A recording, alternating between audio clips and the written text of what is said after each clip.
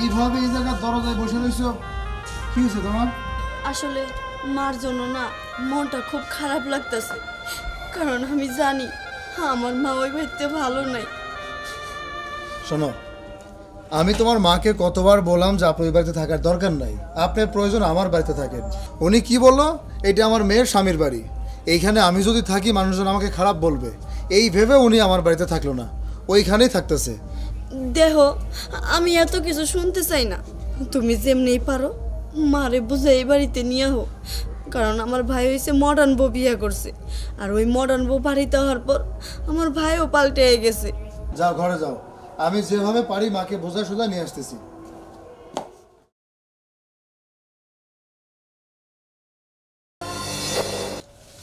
নিশি কি হলো? তো দেরি করছ কেন? বের হও।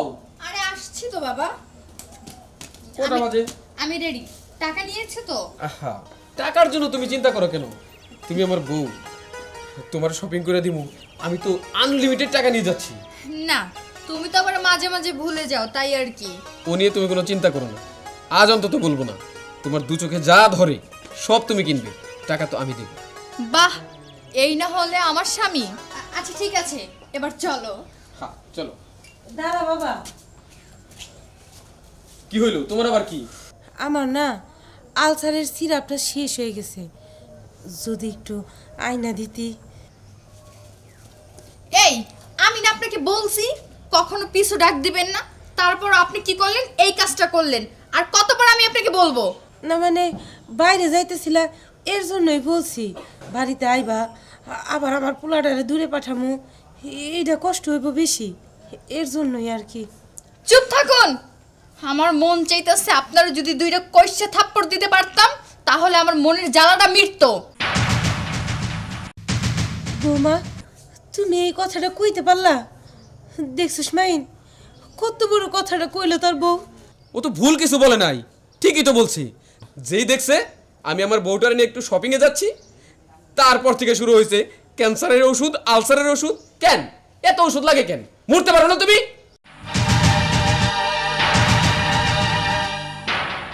মাইন এত কথা বলার কি দরকার? এই মহিলাটাকে এক কাজ করো বৃদ্ধাশ্রমে গিয়ে দিয়ে আসো। না বৃদ্ধাশ্রমে দিলেও না খরচ আছে। তার দরকার কি? এই বুড়ি বাড়ি থেকে বেরো। হ্যাঁ। এই বাড়িতে তোর জায়গা নাই। যতদিন থাকবি না ততদিন খালি ওনার আর বাড়ি থেকে বের হতে হবে না। আমি যদি জানতাম আপনার ব্যবহার আচরণ এত খারাপ এত জঘন্য তাহলে আমি আপনার বোনকে কোনোদিনও বিয়ে করতাম না। আমার আসলে দুর্ভাগ্য কপাল খারাপ যে এই বাড়ি থেকে আমি আপনার বোনকে নিয়ে গেছি। তারপরেও আমার কপালটা অনেক ভালো। আপনারা দুজন একই মায়ের সন্তান, অথচ দুজন দুই রকম হয়েছেন। একজন ভালো আর একজন জঘন্য খারাপ। আপনি কেমন সন্তান? এই সমস্ত সন্তান হয়ে আপনার লজ্জা করে না, শরম করে না? নিজের বাড়ি থেকে নিজের মাইকে, নিজের বইয়ের কথা শুনে তাকে তাড়িয়ে দিচ্ছেন? দেখো সোহেল, এত নীতি কথা শোনায় না, বুঝছ না? খালি তুমি আমার বোন জামাই দেখে কিছু বলতেছি না। নইলে আমি এই নীতি কথা শোনার মানুষ না। আরেকটা কথা শোনো এতই যখন ধরো তখন নিয়ে যাও না। মানে খাও নিয়ে হ্যাঁ আমি তাকে নিয়েই যাব। আপনি তো লজ্জা করা উচিত। এই মুখে আমার বড় বড় কথা বলতেছেন। ছি! চলুন আমার সাথে। আপনার মেয়ে মন খারাপ করে আছে। আপনার মেয়েকে আমি কথা দিয়ে আসছি। এই বাড়ি থেকে যেভাবে হোক আমি আপনাকে নিয়ে যাব। হ্যাঁ তাই করুন। ওনাকে এখান থেকে নিয়ে যান। হ্যাঁ। আমি নিতেই আসছি। আপনাদের এই সমস্ত কথা শুনতে আসিনি। আপনাদের কথা শুনতে আমার ঘৃণা করে। চলুন।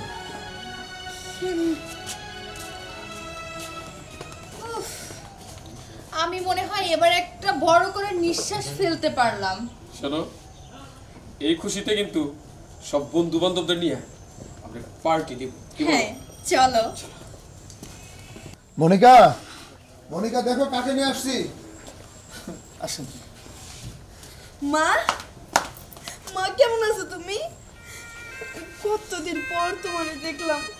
জানো তোমারে দেখা মোটা আমার ভরে গেছে। তুই ভালো আছিস মা? হ মা আমি ভালো আছি। তুমি কেমন আছো? তোমার মা আর কেমন থাকবে? তুমি যা ভাবছ যা আমাকে বলছো উনি তাই ছিল। তবে যাই হোক আজকের পর থেকে মা ওই বাড়িতে যাওয়ার কথাও কোনোদিন মুখে আনবেন না। আপনি তো নিজেও জানেন, ওই বাড়িতে আপনি কি অবস্থানে আছেন, কীভাবে আছেন? খেয়ে না খেয়ে ছেলের কাছে দিন পার করছেন। আর এদিকে আপনার মেয়ে সব সময় চোখের পানি ফেলেই যাচ্ছে ফেলেই যাচ্ছে। আমি চাই না আপনার ওই বাড়িতে ফিরে যান। তুমি আর ওই বাড়িতে ফিরে যেও না। তুমি আমার কাছে থাইকে যাও না। হরে মা, আমি আর ওই বাড়িতে ফিরে যাব না। তবে আজকে একটা জিনিস বুঝতে পারলাম। জন্ম দিলেই সেই সন্তান সন্তান হয় না। জন্ম না দিয়াও সন্তানের মা হওয়া যায়। সেটা আমার মেয়ের জামাইরে দিয়েই বুঝতে পারলাম।